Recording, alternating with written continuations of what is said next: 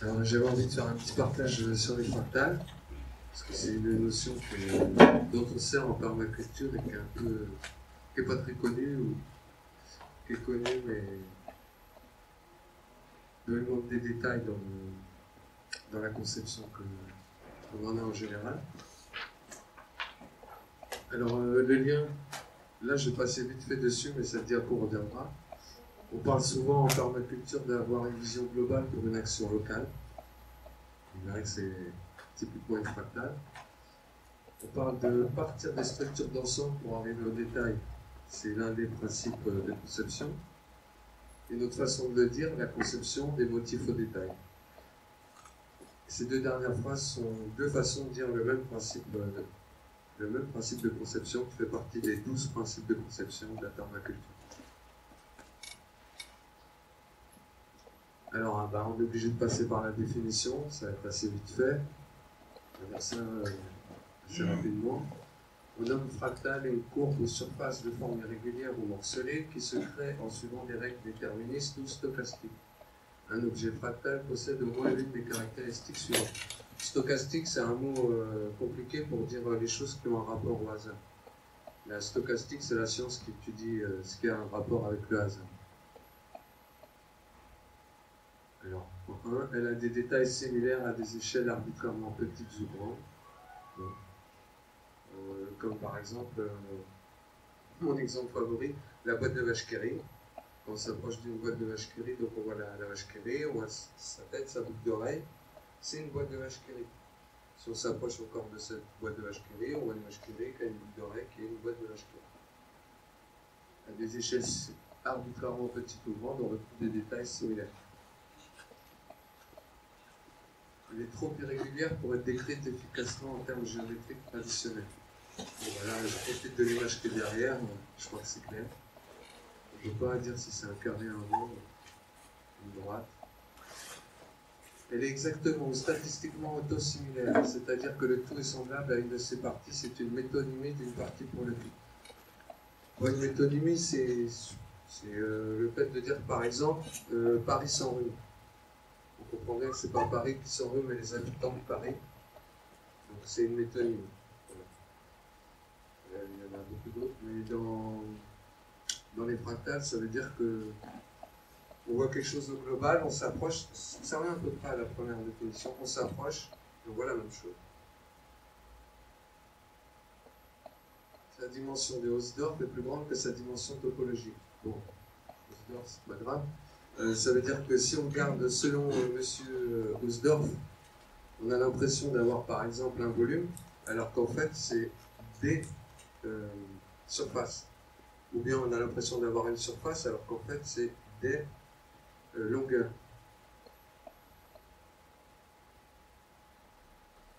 Alors là, ce sont des citations tirées d'un reportage, d'un documentaire. Je mettrai à la fin, dans les crédits, le nom de ce documentaire.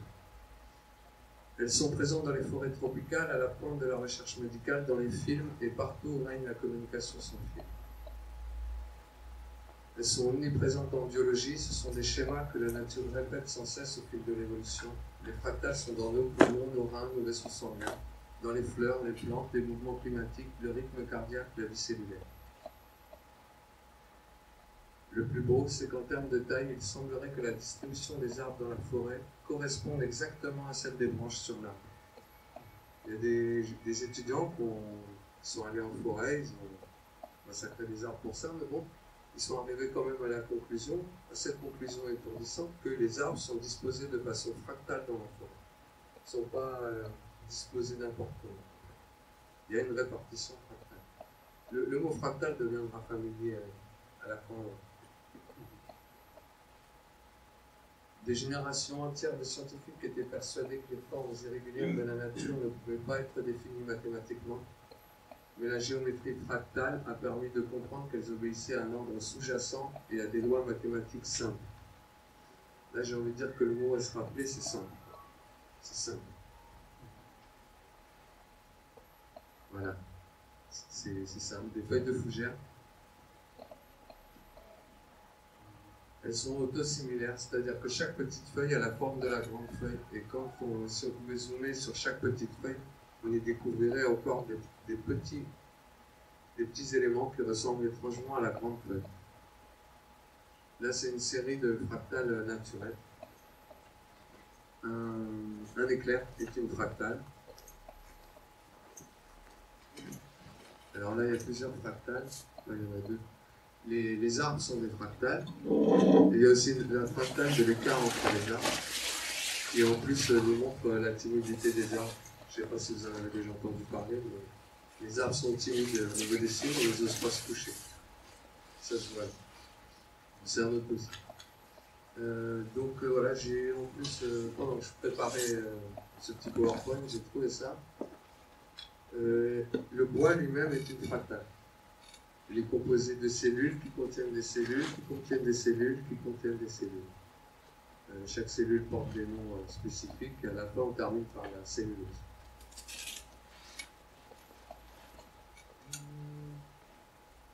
Je m'étais dit, je notais pas le nom, que je me rappellerai le nom de cette plante, et je me la rappelle pas. C'est une, jolie fractale. Le chou romanesco. Une feuille. Besoin de décrire, vous voyez le. Une fougère. Là, un fleuve. Euh, je la trouve euh, pas mal celle-ci. Euh, je dirais presque un animal. bon, je, je la trouve très. Celle-là aussi magnifique. C'est d'ailleurs à peu près le même motif de fractal que la précédente, mais là ce sont des, arêtes de montagne qui se terminent en colline. Et ici on dirait carrément presque un champignon.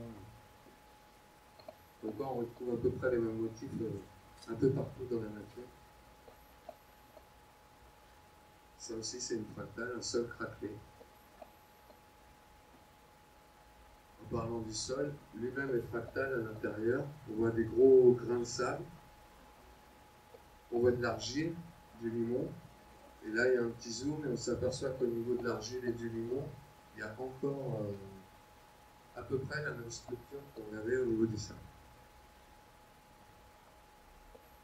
Celle-là, elle est Ça, c'est un réseau neuronal vu euh, au microscope, euh, je ne sais pas lequel c'est, un balayage électronique ou autre. L'image suivante, c'est euh, cette même image, mais au niveau de grippe. On a ça. Il y a un souci dans le PowerPoint. Bon, cette image-là, celle qui apparue, c'est l'univers. c'est une image calculée avec des, gros calculateurs. Et on parle là aussi de réseau neuronal. Mais Là où sur la première image, les points sont des neurones ou des amas de neurones, sur la, cette image-là, les points sont des amas de galaxies, contenant des milliards de galaxies. Le plus petit point, c'est des milliards de galaxies. Et entre ces amas de galaxies, il y a des réseaux de gaz et de poussière. Et on parle aussi de réseaux neuronaux. Et ça, ça, ça me fait penser qu'on a tous un univers dans la tête univers vraiment. Ça, c'est le réseau Internet en 2005, qui doit être un peu plus compliqué aujourd'hui. Bon, ça permet de faire la transition avec les créations de l'homme, fractal, encore. Ça, c'est l'antenne de nos téléphones cellulaires. Si on ne connaissait pas les fractales, on aurait encore les antennes, euh, les antennes euh, tubulaires, les antennes qui sortent du téléphone. Ces antennes-là permettent euh, euh, aussi de, capter beaucoup plus de longueurs d'onde différentes.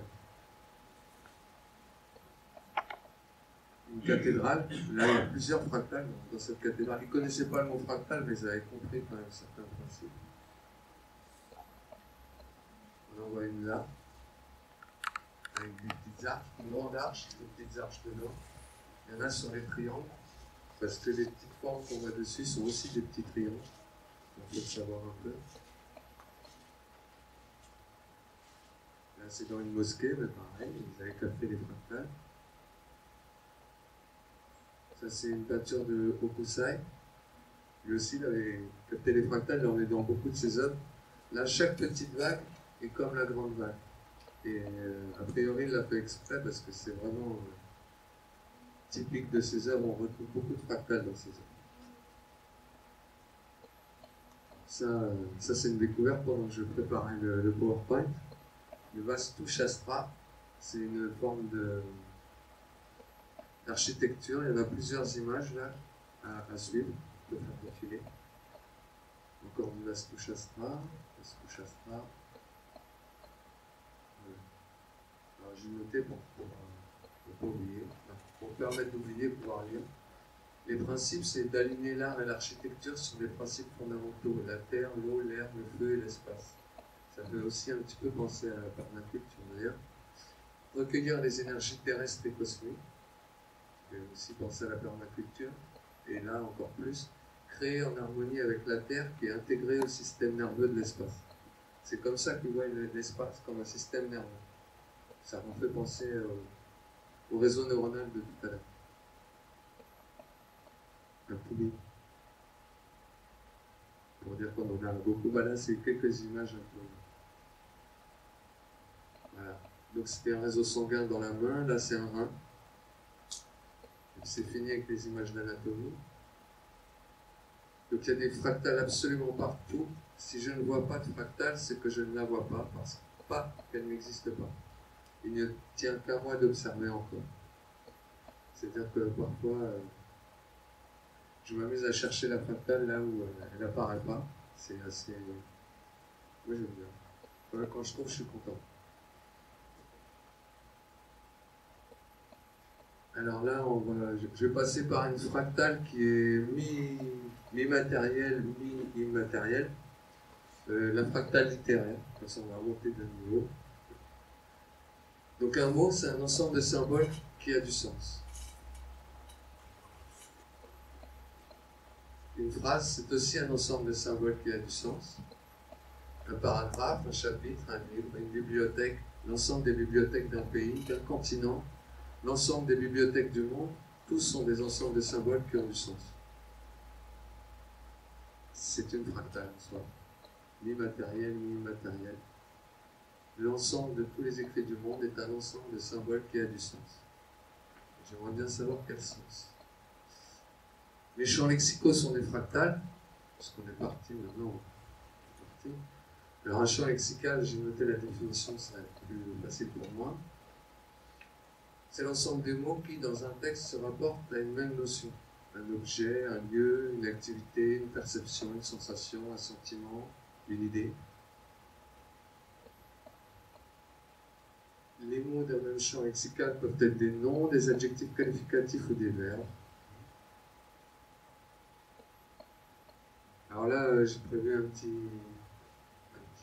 jeu, euh, si je mets ces mots-là dans un texte, ça va vous évoquer quelque chose, j'imagine. Ça va suivre. La mer. Pour dire qu'il n'y a pas besoin de, citer la mer pour, vous la faire euh, goûter. Moi, j'ai fait quelques, sujets. angoissé, redoutable, menaçant, terrible, ruffier, inquiétude, panique, anxieux, blême.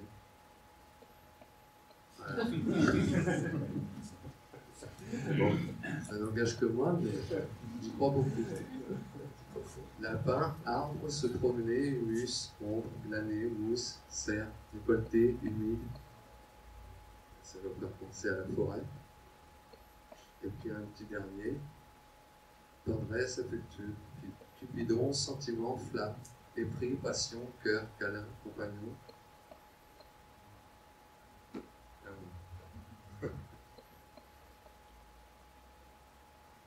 Donc en utilisant un champ lexical proprement, on peut faire rentrer le public dans un certain état d'esprit, on peut emporter le public près de la mer, voir les endroits et sentir l'iode et le vent.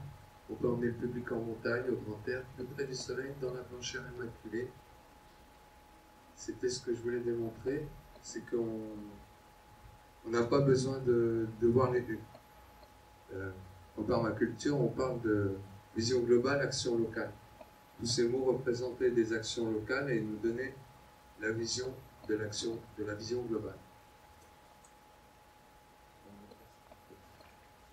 pour être des écrivains efficaces dans les écrits pour mouche, soit maître dans l'art d'utiliser les champs lexicaux, entre autres, soit spécialiste de leur sujet du champ lexical afférent, et comme beaucoup d'autres choses, il n'y a pas besoin de le faire en conscience pour que cela soit actif.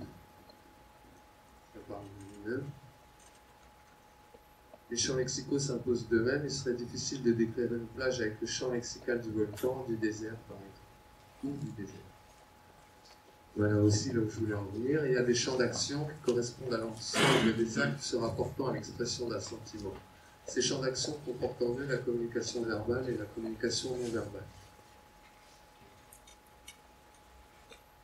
Il n'y a pas d'amour, il n'y a que des preuves d'amour. Voilà, tout ça pour en là. Euh, en fait, moi, pour moi, cette phrase décrit bien que l'amour en soi, c'est une fractale et je vais euh, tenter de le démontrer. Donc les preuves d'amour, euh, là sont des principes, pas des, pas des techniques. Faire de la rencontre un instant spécial, montrer une présence même dans l'éloignement, être attentionné, se rappeler les goûts et les couleurs, apprendre à connaître. Il y a trois petits points parce que si j'oubliais des choses et qu'on me souffle des choses, je bien. Voilà. Alors, euh, du coup, en, pensant à tout ça, j'ai songé qu'on pouvait se donner la peine de lister quels sont les actes et les paroles que l'on peut mettre en place si on a envie de démontrer que ce soit son amour, sa haine, son respect ou son mépris. J'ai l'idée de faire ce tableau en fait à la base pour, pour étudier les comportements euh, des autres je pouvais aussi d'abord et d'ailleurs avant tout étudier mon comportement à l'aide de ce tableau. Alors là il est blanc et puis je ne pas, pas, l'ai pas rempli du tout, mais chez moi tout seul euh, un jour, il y a quelques temps, j'ai commencé à le remplir. Et je me suis aperçu que dans la colonne amour et respect, en fait, j'avais beaucoup moins de choses à mettre que dans la colonne haine et dans la colonne de C'est comme ça. Mais ça m'a donné envie de réagir à ce sujet-là et depuis, j'essaye de compléter mes colonnes, amour et respect. Et je pense que dans la société, je vois souvent des choses comme ça. Des gens qui, sont censés s'aimer et se respecter, quand je les entends parler, pour moi, ils ne sont pas dans la fractale de l'amour et du respect, ils sont plutôt dans la fractale de la haine et du mépris. Ils n'en ont pas conscience et en plus, ils n'ont pas le vocabulaire parce que moi-même, je me suis aperçu que le vocabulaire, il faut aller le chercher. Le vocabulaire gestuel aussi. Donc on revient à la première euh, diapo. Une vision globale pour une action locale, partir des structures d'ensemble pour arriver au détail, la conception des motifs détails. Euh, voilà, les trois éthiques de la permaculture qui sont des fractales à mes yeux. Prendre soin de l'humain, c'est assez global comme principe. Après, ça, ça, peut se décliner au jour le jour, acte par acte, parole par parole, auprès des gens à qui on s'exprime. Prendre soin de la terre, c'est pareil, ça peut se décliner jour par jour, acte par acte. C'est un peu dommage de, pour moi de partir en permaculture par exemple et puis de, labourer un sol ça peut être fait dû à l'ignorance, mais si je reviens au tableau d'avant, par rapport à la terre, c'est pas une marque de respect. C'est pas vraiment pas une marque d'amour non plus. Euh, donc euh, ce, tableau, il est pas, mal, j'aime bien. Euh, pense qu'il peut servir à, lister les actes que l'on peut avoir, par exemple aussi rapport à la terre ou rapport aux humains qui sont dans, dans, ce, dans ce respect, dans ce prendre soin. Partager équitablement, c'est pareil. Ça peut se faire euh, tous les jours, acte par acte, pensée par pensée, geste par geste. Quand on design, on pense partage, à partager équitablement euh, tout. Et toutes ressources. Un déchet, c'est une ressource qui n'est pas utilisée entièrement. Voilà, après, donc il y a les crédits. Donc là, les, citations sont tirées de la vidéo fractale à la recherche la de la dimension cachée. Les images sont issues du web. Les définitions, je les ai prises sur technoscience.net. Et je me suis servi de GIMP et de LibreOffice pour faire ce, point. La dernière, j'espère qu'il y a pas Yes. Un merci en fractal.